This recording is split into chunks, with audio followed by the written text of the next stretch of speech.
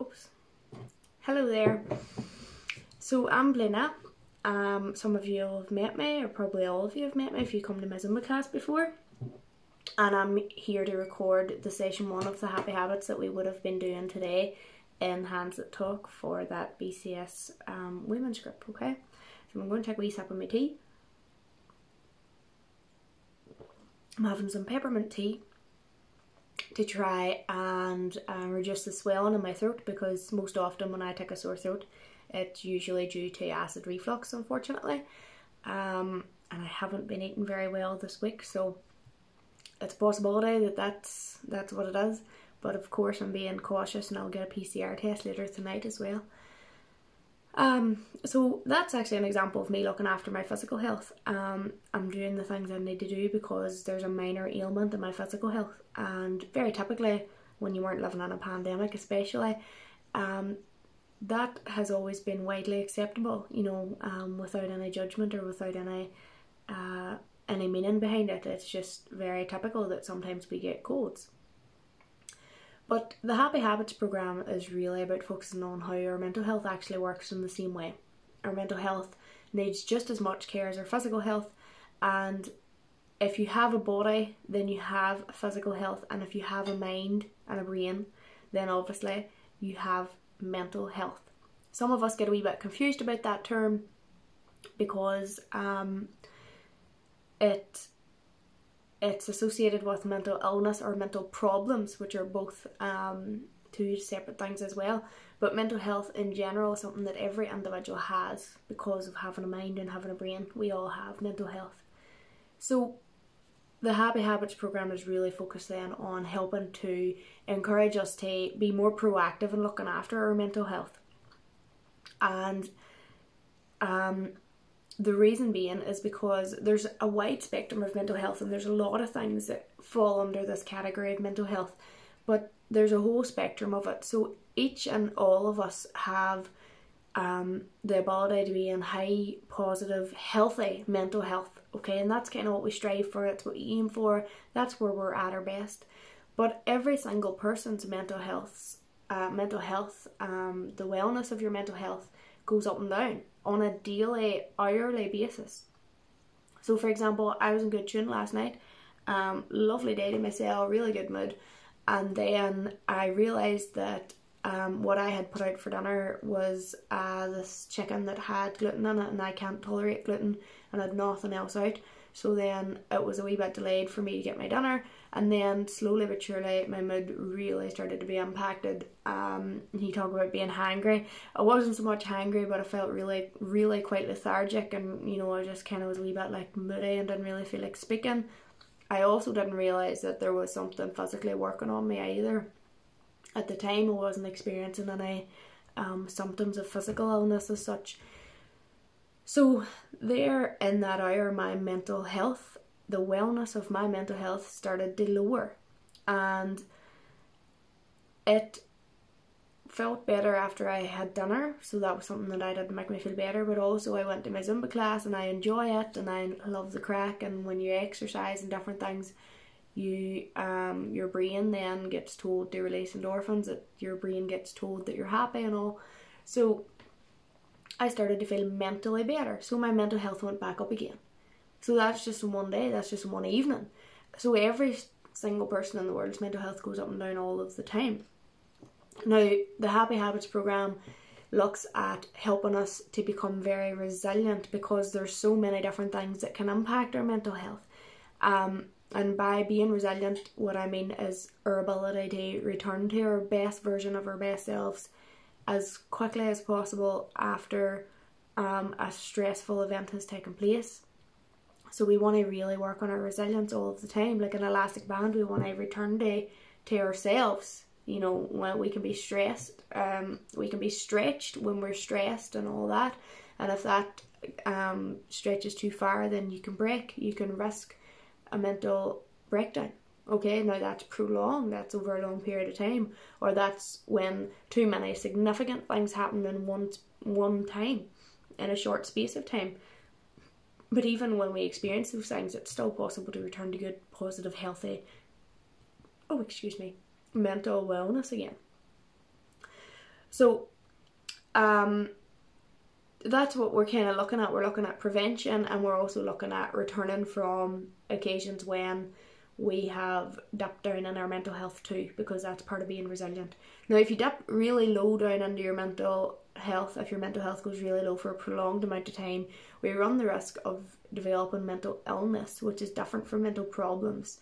Mental illness can be things like depression or an anxiety disorder, which we can develop because of a lack of chemicals in our brain, or we can develop because of something changed in our life that causes us to um, to become mentally unwell. Um, our thought patterns can impact how we feel, and we can our thought patterns and the things that we're doing or not doing changes the chemistry of our body as well, and our actions and all that. But even with a mental illness, um, some mental illnesses are curable, so we can we can overcome depression and we can overcome anxiety disorders. Um, but some things are lifelong, things like bipolar and different things. And if you learn the skills and the tools and understand our wellness in a way that um, is about self care and looking after your mental health in general, you can actually have a mental illness and still have positive, healthy mental health, but with a mental illness. Um, so it's just important to recognize now, of course, if you're concerned that um, you know you're developing a mental illness or someone that you know is, then the recommendation is always to go to your GP and speak to them about what your options are. But these skills and this stuff here that we're going to learn is about supporting that wellness, supporting returning to wellness, and different things like that. So that is the principle and kind of the core of how the the Happy Habits program is developed. Not only to help us to feel a wee bit more, um, like, um, what would I say, like more productive or not productive. You know how we look after our physical health without a thought and without being told and without a judgment. I want that same concept and that same um, attitude to be there for mental health as well because there's no shame in it. it doesn't mean anything about anybody um, but it's just what happens you know so moving on then the whole principle of the mental health program is based on the fact that your thoughts and your feelings and your actions all influence each other. Now hopefully what you'll have received on an email or maybe on whatsapp is a, a page sent to you by the bcs email that shows um it might look like a triangle but there's like a circle in the background and there's three circles on the page. At the top it says feelings. Underneath there it says physical and emotional. And then there's arrows pointing back and forward to connect it to another circle that says actions and another circle that says thoughts so the whole principle of the program you might be able to hear my dogs barking they've stopped the whole principle of the program is about how our wellness, our whole well-being is influenced and impacted depending on our internal cycle of this thoughts, feelings, actions. Okay, so that's within us as individuals. At the top of the page, it's called the internal cycle of well-being. Um, the page has a pinky background and the three circles are in a greeny blue colour. So that's a page that I would encourage you to look at at the minute. That's what I'm referring to now. So let's just look at that on its own for now. And that shows us that our thoughts, feelings, and reactions can all influence each other.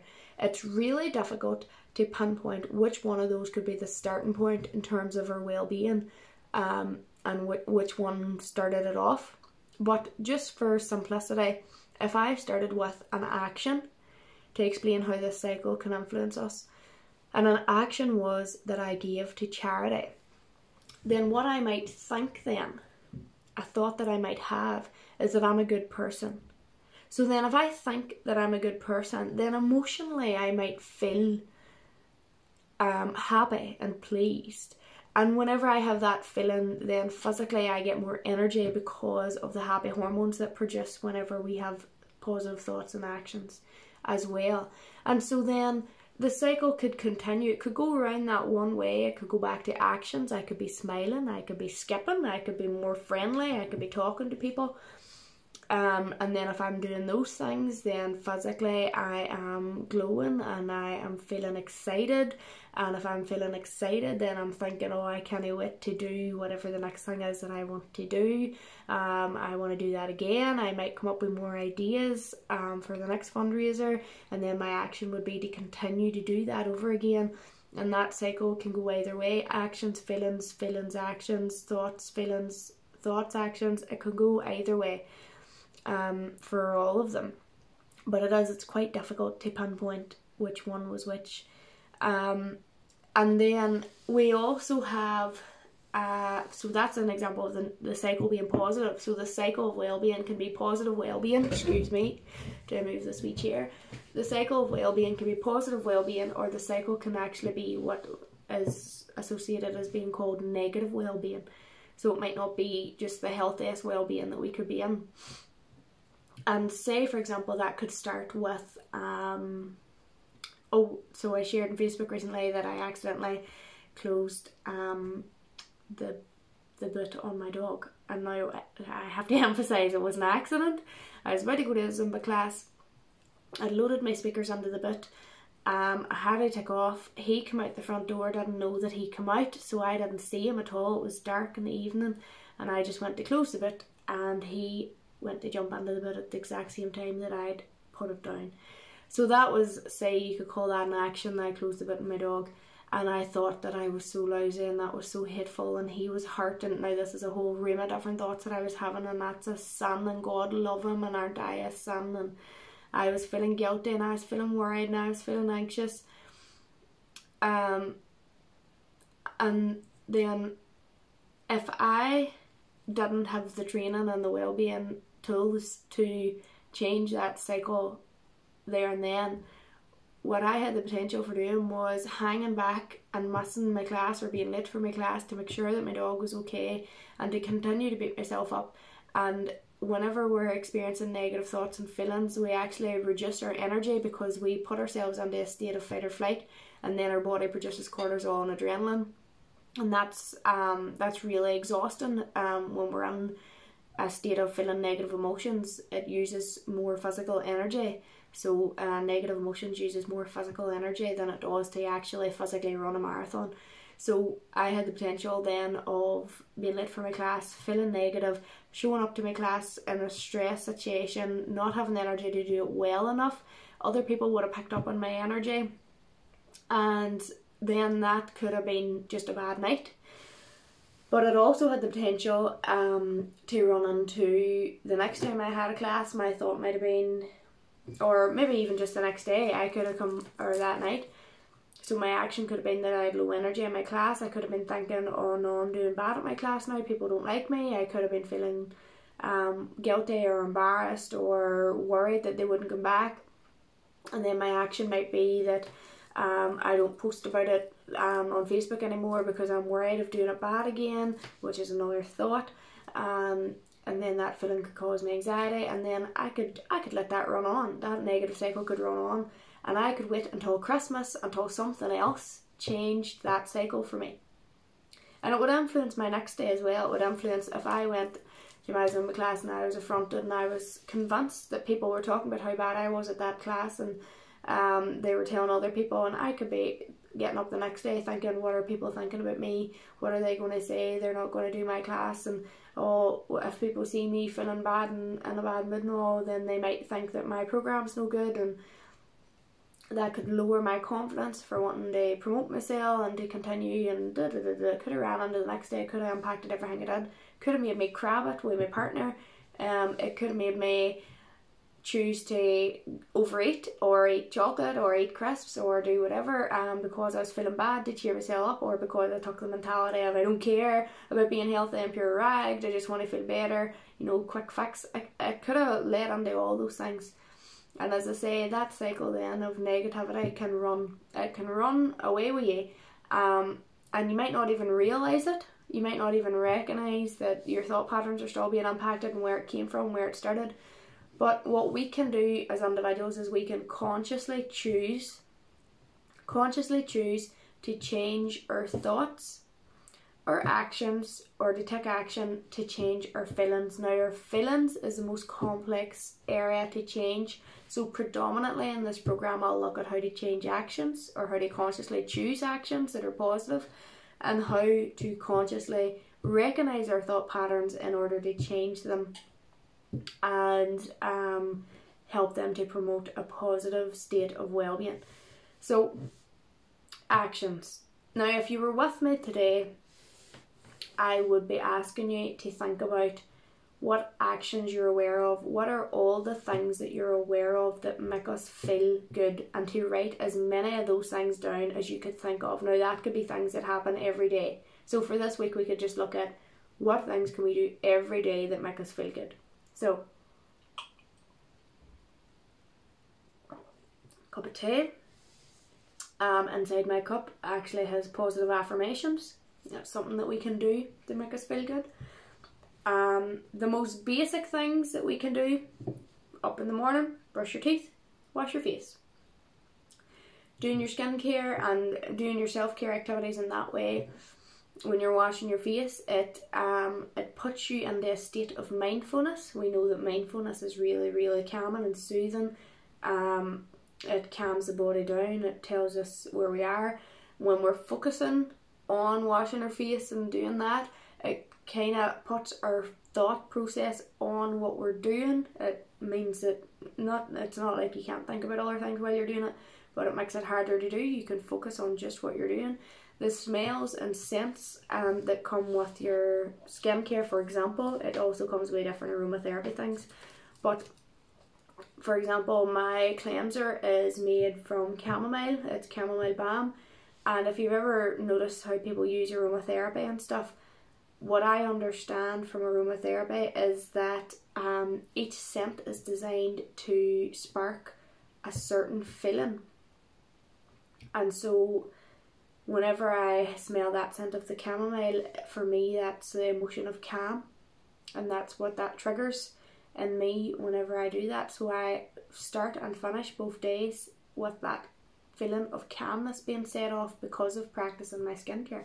So, there's an action that I could do. I can use my hand cream daily, same principles.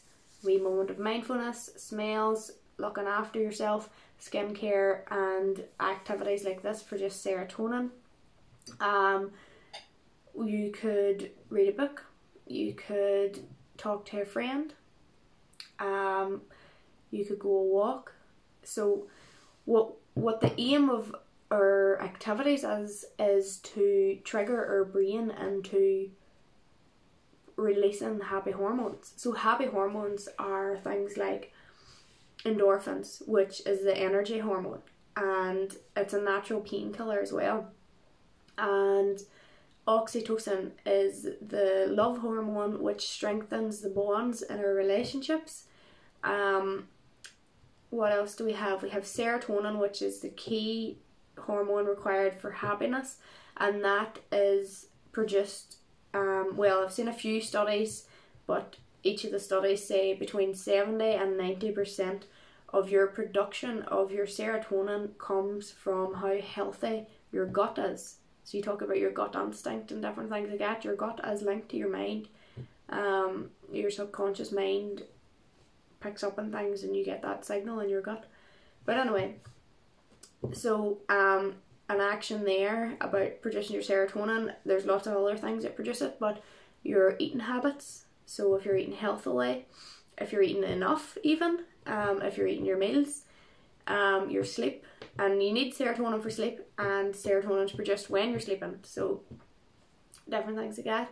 And I'm missing one. I'm missing dopamine. Dopamine is the hormone that we need for motivation. And things that we can do to produce our dopamine is you can write a to do list, you can tick off that to do list, and so what you'll see is um, a habit tracker in the stuff that was emailed to you. There's two versions of it. So, what I encourage is that you write down as many things as you can think of um, that you can do every day that make you feel good. Drinking your water, getting a wee cuppa, um, what other wee things can we do? Write in a journal, take time to colour in. and the the principle of it is is what things that you can do that when they're done you know you feel good so it can be doing tasks it can be doing housework because when it's done you feel good that it's done. If you have done it it can feel like a sense of accomplishment and achievement. If you write down three things that day that you want to do and you tick them off that day that you've got them done um we can look at we can look at old photos um, or photos of memories or talk about things that we remember that we enjoyed because our brains actually cannot differentiate between what we're thinking about and what is actually reality of what really genuinely is happening. And for that reason, then, whatever information we are feeding our brain, then then it is signaling to our brain of what to release and what to produce. So if you're thinking of uh, do you mind that time when we went to such and such a place and wasn't that lovely and that one was there who was good crack and you're laughing and you're smiling. Your brain can't tell that that's not happening now if you're looking at photos and thinking about it but your brain still goes oh we're happy. Oh very good very good. So we're happy 100% good job. And let's let's have some serotonin then because we're happy. Let's have some oxytocin because we're thinking of fond memories between ourselves and our friend or whoever. If you hug somebody for 10 seconds 10 second hug now i know this year has been hard but this is also a reason why this is so significant because um the pandemic has made it difficult to do some of the things that are essential for us to feel good and feel connection but a hug of 10 seconds is all that it takes to produce oxytocin. Or if you're cuddling your pet or your cat, or your, well, a cat can be a pet, but your wee cat or your wee dog, or um, even yourself, even yourself, you know, 10 second wee hug, oxytocin, stronger bonds. Um, endorphins is about exercise. And again, I'd be quizzing you here. So I'd be saying to you, if we were together, how long do you think it takes for endorphins to be released? How, like, in terms of doing exercise, how much exercise do you think we need to do in a day at any given time for a set length of time? How much exercise do we need to do to um to produce endorphins? Sorry, for our brain to know to release endorphins. And in the recent group that I was doing, the guesses were 15 minutes, half an hour, and an hour. But actually, for the production of endorphins to be triggered, it only takes six minutes for your brain to go, oh, we're moving for six minutes now, let's have some endorphins. And that can be walking up and down the stairs, it can be walking to your shop and back again. Um, it doesn't have to be strenuous. You can walk back and forth between your front door and your back door for six minutes and you get endorphins released. Obviously, the longer and the more often you do it, the more often this happens and occurs. But endorphins give us energy. With energy, we're more likely to do things we want to do. And also, it's a natural painkiller. So, um, that's why I remember actually, I remember being at school and a lot of the girls um, would say, "Oh, miss, I can't do PE because I have my period," and I remember the teacher saying that doing exercise would heal the period pain, and I remember being like, oh, "How does it like?" feeling these cramps and I don't want to move and she wants me to run about a field. But right enough, anytime I ever did do, like especially when I did camogie and stuff too, if I just wheeled on with it, I did notice a reduction in the pain of my cramps at times. Um, and now I, I do, I remember that significantly. I remember how irritated I was that she said it and I completely didn't believe her. Um, and now I can look back and think that actually is funny um, because there was truth in what she said. Although she didn't give the explanation, I just remember thinking she was just saying that because she was your PE teacher and she didn't care about and teachers are evil and all, you know, whenever you're a teenager and that's the way you think. Um, so there you go, that's all we need. And you know, um, a great way to get your serotonin and, and a lot of your happy hormones is to spend time outdoors. So you could be gardening, or again, we talked there about a walk, you know, two and one and things like that. We we need at least um, a minimum of ten minutes outdoors um, for those hormones to start to kick in. Um, but it is recommended that you have up to 30 minutes of outdoor time in a day um, for a lot of other different reasons for the way that the light impacts your mind and your cells and all things that too. Um, but 10 minutes, 10 minutes is a good start. So we can we could probably achieve that. Um, so that's that's kind of what we're looking at in terms of actions. And so what I would say to you is that from this week to next week, to really, really hone in on your actions. What are the things that you're doing to make yourself feel good? Because it's really significant to do them when you least feel like doing them. Now, my mama used to tell me when I was younger, um, if I was feeling low or do- down or if I couldn't concentrate and stuff, she used to say, "Go and take a walk to yourself." And there was times when I was wee moody shite and I used to think, she does not care about how I feel. What would she know? And I would kind of have a huffy puff thing and I would go the walk anyway. And I would hate to admit it, but I would feel better. I would feel better. Um, and I would concentrate more and all that kind of a thing. She used to tell me, you know, I'd be stressing for my exams, and she used to tell me as well um, to go to bed at 10 o'clock because you won't take anything in after 10 o'clock um, and to go into rest. And I remember being worried and being panicked and being anxious and doing it anyway, and realizing the next day that I knew more than I, I thought I did. But the night before, when I was exhausted, um, the reason I couldn't confidently g- give the information to whatever it was I was learning was because I needed to rest. My brain was overworked. And I used to think it was just because she's old school, you know. I was like, oh, she's a hard woman. Her like she was grew up. Um, she was grew up. What I should say is my mama is. Oh. I wonder how she feels about me disclosing mommy's age. Mommy's in her seventies anyway. And uh, I used to just think, you know, that was like just the way that she was brought up, and you know, she wasn't um brought up at a time where people talked about emotions and stuff. So you never got that chance to do it, and that must be why she says to do them things instead. And now I see how actually those things are so significant and so important and so essential to do, especially when you don't feel like doing it because it makes you feel better. So that's the trick.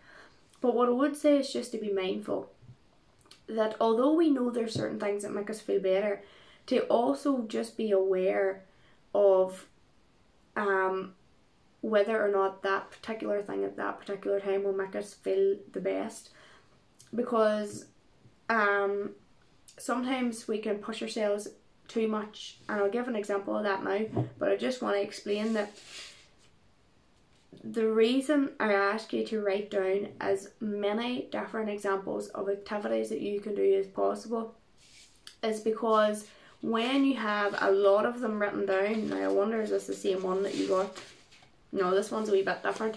But um, when you have like a full list of activities, you know, a whole big, long, long list of all the things that you know that you can do to make you feel a bit better at all, um, and you are feeling in bad form, then you're more likely to do something that you've already written down and planned. Um, and the writing down is very significant because it, it tells our brain that it's something that we want to do and it tells our brain that we should do it and it helps to form the habit, which um, I'll explain now in a wee second. But um, it also means that because you have a plan in place, um, because you have something recorded that you know that you can do, that you don't have to try to do all of them things in that big long list all day every day. But on a day when you're going, I'm really feeling low today, I'm really feeling lethargic, or whatever's going on for you, that you can refer to that list and come up with something that you think that you could do then to help you get by with that feeling and improve it a wee bit. Um, because when we're in bad form, when we're feeling low, when we're crabbed and angry and annoyed and stressed, we do not want to do the things that make us feel good. And so that's why it's essential to plan them. Because when you're in bad form, you're going to go, I'm just going to sit and watch TV, or I'm just going to bed, or I'm just going to open that bag of crisps. And that's kind of what we do. We're in bad form, we want to go and do that. And it's harder to think of doing the thing in the moment that we know will make us feel better. It, it takes a lot of practice and discipline to get ourselves into that state. Um, so write the big long list of all the things that you can think of. Do it on a day when you're feeling grand enough to do it. Um, as many different things, and what we'll do is we'll share um, different examples of activities, and always mem- remember to do things that you know make you feel good. So if I tell you that I go to Zumba two and three times a week, and you don't want to do Zumba two and three times a week, then don't write down Zumba to make you feel better because it has to be personal to you, because that's what makes you feel good. And again, to come back to my point where I said about um, you know, you want to make sure that thing is really going to make you feel good that day. I will give you the example where I signed up to a bootcamp class um, a few weeks back, or maybe it's months back now. God, I can't even tell.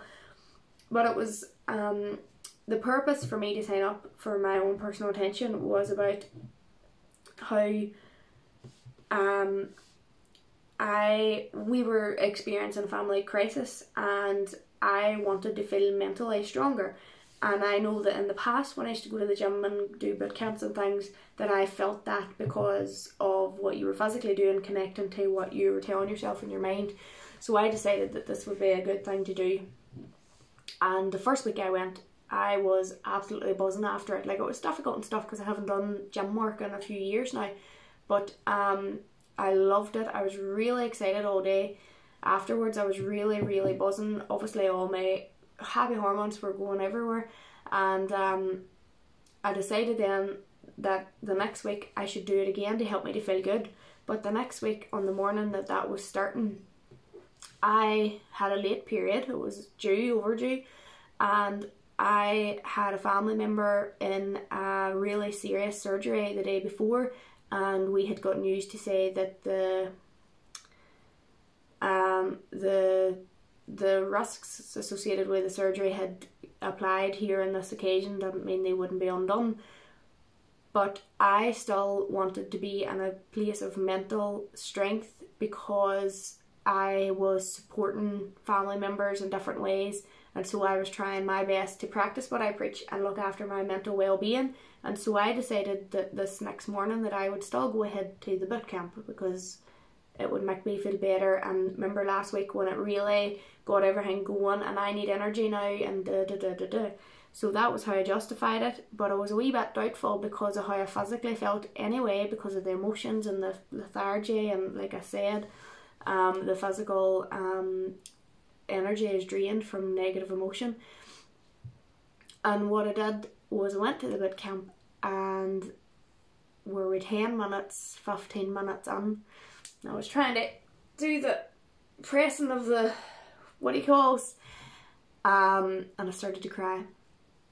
And I left because I'd pushed myself too hard. What I did instead was I went and got my mommy and we went to walk in the country park and that made me feel better. And I didn't really feel like doing that either, but it was more gentle.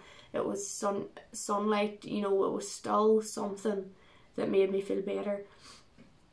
And I didn't go to the boot camp with the mentality of I need to do it, um, I paid for it, or what will somebody think, or um, you know, like I wasn't pushing myself. I genuinely believe that it was what I should have done, and that's what I want to say about all of our actions. So I said a minute ago when we're in bad form, we do things that look back on and we say, God, I shouldn't have got a Chinese two nights in a row, or God, I shouldn't have ate that chocolate, or. But with everything that we do for ourselves, there's a positive intention behind it. And I'm going to explain this more now as I talk about the mind. Um, so there's a positive intention behind every action we choose to do, and there's a positive intention behind even the feelings that we have because our feelings are a compass directing us towards what we need. But in the in the format of this group and things, I'm not going to go in a lot and the feelings as such, um, because I don't know what anybody's coming with, and we don't always feel safe in a group setting to explain or to express feelings and different things. So I'll not do a lot on that I'll talk over some tips and tools that can influence feelings, but I'll not go into that in depth in this program. But anyway, so there's a positive intention behind every um every action that we have, and there's a positive intention behind every feeling that we have, because we are trying to cope. We are attempting to make ourselves feel better. And the reason that we do most of what we do is 70% of what we do is a habit.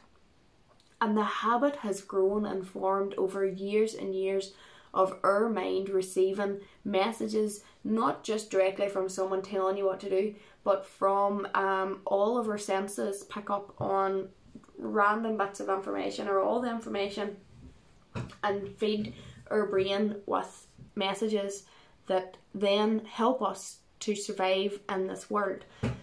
So our our mammal instinct brain is all about survival.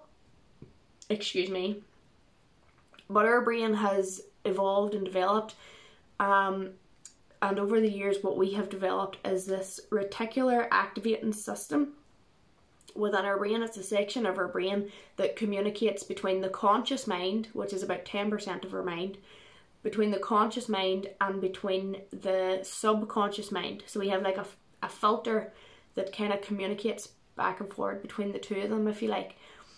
Because um, our brain, or our, what do I say, per second we receive something like 400 billion, I think that's the direct data um, something like 400 billion pieces of information per second. But we can't process that amount of information per second because we would explode or our brain would literally go into meltdown. So we've evolved by developing this filter that allows us then to look for patterns of messages and everything that's out there and form a response or form a habit or develop a neural pathway in the subconscious mind so the RAS takes the information that comes into the conscious mind and filters it down to something like 2000 pieces of information per second because that's what we can actually process. So every person's um, concept of reality is different and that RAS then takes those 2000 pieces of information per second and feeds then the subconscious mind where we grow our neural pathways which is responsible for our habits which is why 70% of what we do is based on a habit and so, for that reason, that is why the way that we feel and the way that we act comes from a positive intention. Even though we associate it at times as being negative and we call it negative or we say that was bad or we shouldn't have or whatever, there's a positive intention behind everything that we do and it's always based on survival. And even though it, it's going, it sounds really dramatic, they talk about survival whenever um, you've just dropped your phone or whenever you know somebody who you don't even like anyway didn't say hello to you. Today our mammal instinctive instinctive part of our brain perceives those things as threat. Our rational part of our brain is able to be like that no like that's okay we're fine we're still safe whatever. But because of this being like internally kind of programmed into us if you like it's always going to be what our first instinct is. So if you see the page then that talks about the law of the body, the law of the body is that although it's difficult to pinpoint your starting point of the internal cycle of well-being, thoughts, feelings, actions, the law of the body suggests that the way that this information first of all is processed and responded to and whatever is based on a trigger taking place first a trigger is external, it's outside of our wellness cycle. A, a trigger is something that happens. So, a trigger happens, and automatically we have a thought about it. Now, when the trigger happens, it is filtered under the conscious mind going through to the RAS filter, and the RAS filter searches the subconscious mind, if you like, to look for similar patterns of response to this chooses one and sends it back to the conscious mind, and there we have an automatic thought. The automatic thought that we have, which we will always have despite learning these skills usually, will um, cause us to have a certain feeling. Now, it's not the thing itself that happened that causes our feeling, it is what we thought about what happened that causes our feeling and then our feeling then leads to how we behave, how we react, or what actions we take because of how we're feeling. So, for this week, what I would encourage is that not only do you look at as many of the things that you can do on a daily basis to make yourself feel good as an action, and you can choose to tick them off Monday, Tuesday, Wednesday, Thursday, Friday, or you can choose to tick that big large list, list sorry, and tick two to three things from it every day, and then every day write down, I'll do this, this, this, and tick that off then if you like, whatever suits you and your learning and your productivity best. Um, that is that is an option. Okay, so as well as doing that, I also encourage you now from this week to next week to write down first of all what your triggers are and then the th- uh, one of the thoughts, one of the automatic thoughts that follow, and how that made you feel. And did you notice any change in your behavior, or do you think the way you're acting that week might have been because of something that was a trigger? And just notice this stuff, and then ask yourself, what is the positive intention behind that thought? What is the positive intention behind that feeling? behind that action because sometimes it's enough to say, okay, there's a positive intention behind what I've thought. What is the positive intention? And how can I get that outcome that the positive intention is hoping for without having to react in this way, without having to draw in more negative thoughts? So this week is about awareness, bringing awareness to ourselves and awareness to what we do. Because when you have a negative thought, we most of the time aren't even consciously aware of it. It's just happening. We've never stopped to question our thoughts. We believe our own negative thoughts. They make sense to us because of whatever the information is that we've received over years and years and years um, of our lives before we've ever stopped to challenge it. So we're running on automatic, we're running on autopilot, and we believe our negative thoughts because they're there for our best intention, even when we aren't satisfied that they are creating the best positive outcome for us. Um, but when we don't stop to question it, or when we don't take awareness to a thought that we've had, it can draw in more thoughts but let's say first of all you're looking for the trigger. That's how we start this out. You're looking for the trigger. So a trigger is something that happens and that can be anything that happens. It can be that your phone died which is very simple. It can happen to anybody and um it can happen a number of times a day. It's not very significant but when it happens it may cause you a slight amount of distress or a trigger can be something more significant like a person dying. Now this week we um we aren't necessarily going to directly focus on the more significant triggers, but it's just to make you aware that a trigger can be the most basic and simple thing to the more serious um once in a lifetime kind of occasions that are still triggers that start this cycle then, this internal cycle of thoughts, feelings, actions. The triggers are the the starting point. The triggers are the thing that usually kick starts the thoughts, feelings and actions. And then the thoughts, feelings and actions once they're kick started can just continue in their own wee cycle then as they go. So triggers, dropping your phone. Um now let's use that as my example. You could drop your phone and you could think my phone is broke. Now I'm focusing on the part where you haven't lifted your phone yet. You haven't checked to see if it's broke, but maybe you've dropped it. And that's an automatic thought that you have. Now, hmm, my tea's cold. Now, if the thought that you had, right, let's go with this hypothetical that you drop your phone, you think it's broke, and you feel panicked but you haven't lifted it yet to check. Within a few minutes, within a few seconds, that thought will keep on trying to get your attention and it will bring in more thoughts. Your phone's broke. Panic. Instantly. do nothing about it for a second, oh my god, even even in the process of you bending down to get it and pick it up, your brain could go, oh no, my phone's broke. Uh, if I have a broke phone, nobody can reach me. What if something bad happens to somebody? Oh, and such and such a one sick too. And what about the weans at school? And oh my goodness, do you know what? If nobody can get me, then I better not go out of the house because they have to ring the house phone, and I, now I'll not be able to go to that thing that I really want to go to.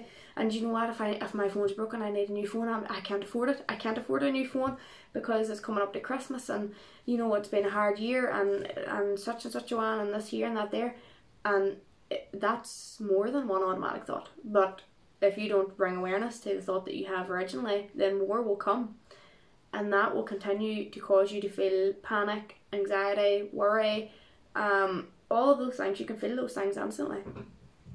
Um, but when we recognize an automatic thought that we've had, my phone's broke, we can go, oh, what's the positive intention behind that thought? Well, the positive intention behind that thought is that I want to prepare for the worst case scenario, which right now in this occasion is that my phone is broke, so that I know what to do in order to resolve the situation. And um, we perceive it as a threat because of what we associate it with if people can't connect with us because for survival we rely on social connection and so although it seems really basic and it, it might sound completely out of the ballpark to even say your thinking is based on survival if you drop your phone that might sound completely ridiculous to your rational brain but to your mammal instincts it is about survival it is with our best interest at heart. But that panic and that worry and all of that that can continue and lead to um, worry and anxiety and stress and whatever can prolonged over a certain amount of time lower our mental health. And not only that, but if that is not something that you're able to challenge and recognize and prevent from drawing in more negative thoughts, then the impact that the negative event and the negative feelings has on you is more significant than necessary um, meaning that you know it impacts all areas of your life again because then how you feel influences how you act and how you behave. Um, but the whole purpose of recognizing what we're thinking and bringing awareness to it and recognizing the positive intention is so that we don't have unnecessary negative reactions to things that will in turn influence our negative well-being or, or well-being in general. Um, and if that's the way that you respond to one simple thing like breaking your phone and you don't know how to challenge and change that thought before the event where you find out that your phone's not broke, um, then it will influence your feelings and then that will influence the next thing that happens. So if the next thing that happens is you're meant to be going to an appointment and you're running late or somebody who's left you isn't there in time or um, maybe you kick your toe or maybe you burn your toast or you know the automatic thought is always going to be there all of the time but when we don't recognize how to bring awareness to it and then challenge it there and then, or maybe later on, it's, that's how we'll start out. We'll practice later as opposed to in the moment. Um, then then it actually does build up and build up. So all those things that seem insignificant and not a big deal, and sure, how would drop your phone if anything to do with your mental health? It's about all of those things as a cluster, as a as a combined amount of events that happen and cause small, short bursts of negative feelings, but then they build up and they build up and they build up and they build up and they build up, build up until the next seemingly small and significant trigger or thing that happens takes place and you have built up all of these small and significant feelings of negativity and so when you receive another one again it feels overwhelming and it feels unbearable. And your behavior and your reaction might not match what has actually taken place and later you might look back and say god why did i do that or why did i say that for? Um, and the reason why might have just been because all these things were building up on you and how you felt at that time was genuinely how you were feeling so i'm saying your reaction uh, might appear to have been um, out of line out of alignment with what did happen but for you it wasn't out of alignment because that was your reality at that time but we tend to look back in hindsight and say, you know, I really didn't have to respond in the way that I did. That's okay. But these tools and these things that we're going to look at now um, over the next few weeks are going to help us then to not respond in that way. So, if you're choosing consciously to do positive actions as consistently and as often as possible, then what you're doing is you're feeding neural pathways that are new positive habits, especially when you do them when you don't feel like doing them, because your brain then is told to release the happy hormones that we need in order to feel better. If we're already feeling better when something happens to us, if a trigger takes place on that day, it might not negatively impact our well being when we're feeling good and positive because we have done actions that produce happy hormones in our brain, then it's so much easier to think happy, positive thoughts, and so the cycle can be um, the cycle can then be positive. And equally, if we're bringing awareness to what the thoughts are that we have, then what we can do then, because we're having more positive thoughts, is we're more likely to do positive actions, which makes us feel better. So that's the homework for this week. Homework, if you like. What you're going to do is as many positive actions as you can, especially when you don't feel like doing it. If you know that it's definitely going to make you feel better, excuse me. And the other one is to write down your triggers you don't have to do it there and then. You can do it that night, or you can do it once a week, or you can do it every couple of days. Look back and say, What happened? Why was I feeling that way that day? What happened? What thought did I have about what happened? Um, what feeling did that cause? And then how was I acting then because of how I felt? So, that is what I encourage you to do this week. And remember, there's a positive intention behind our thoughts. Try to see if we can identify what it is. Do this as little as, or as often as you like but the most significant impact that you will see on your well being is when you consciously choose to do this stuff intentionally on purpose. And when we write things down, when I talked there earlier about um, creating new neural pathways to form new positive habits, physically writing something down, um, I can't remember the statistic, but it's like something like 10,000 something or others that form neural pathways 10,000 wee connectors that create the neural pathway that you're trying to form in order to have the habit.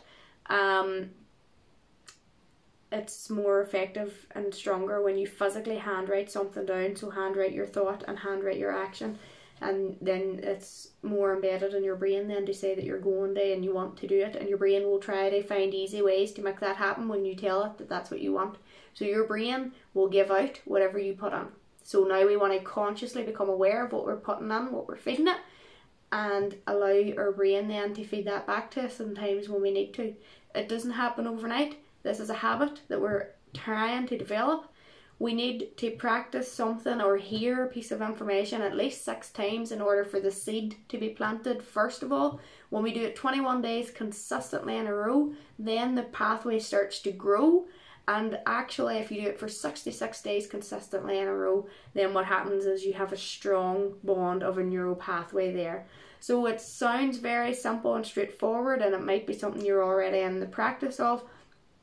But just to become aware that it doesn't change everything significantly overnight, it can change your mood for a day or two, and then the next day you might return to the automatic stuff, and it might take you to another day to say, "Whoops, I shoulda," or "I coulda," or um, and that's okay. This is all about practice. It's all about practice, and it does. It just takes a bit of hard work, and that's okay. That's okay. We can do it. Hard work that's simple but hard to do in the moment. So we just want to practice it as much as we can. Now, imagine you were with me. Um, how long it would have taken me to tell you all that because I just rambled away and rambled away. But anyway, thank you so much for your time, and I hope to be well enough to see you next week again. Okay, take care now. Bye bye.